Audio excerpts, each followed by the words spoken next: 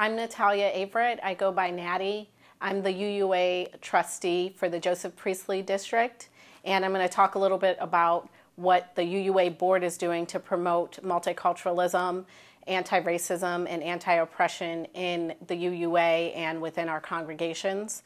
Because the UUA board is mostly a direction setting entity, most of our work that directs the work of the UUA staff comes through policy. And our main policies are the ends for the association, and they are the primary goals that the president is focusing on when directing the association's work. And three of our goals are related to multiculturalism and inclusion and anti oppression. And they read that we want our congregations to be intentionally multi generational and multicultural, embracing and struggling with issues of oppression and privilege, and open and inclusive in their outreach and welcome. And throughout the year, we spend time with the leadership, um, staff, as well as the president and others within the association, getting reports on what's going on, finding out about new programs, and making sure that these goals are really being put into practice and turned into programs that our congregations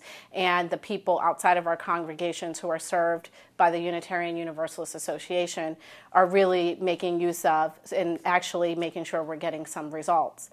On the internal level, the board focuses on its own multicultural awareness, its own multicultural and multi-generational composition, and our own ability to deal with issues of oppression and privilege. And we make sure that in each board meeting, all of our committees and work groups are doing process observations and responding to whatever comes out of process observations, that we um, participate in ongoing training, and also that the board's committees that appoint people as well as the work we do with the nominating committee focuses on making sure that nobody is in a leadership position who hasn't received any sort of training and then also at the highest levels of the association that we continue with periodic training. And at the board level we do it at every single in-person meeting because we know that it is a constant challenge to keep